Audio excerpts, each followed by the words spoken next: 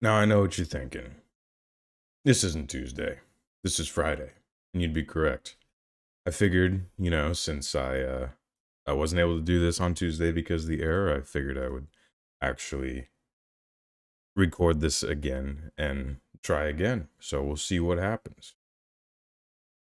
Okay, so I mean, there's got to be something good, right? They wouldn't just they wouldn't just you know, do the whole error thing to us for a week and then, or it wasn't all week long. Oh, well, you know, okay, it's fine. Uh, okay.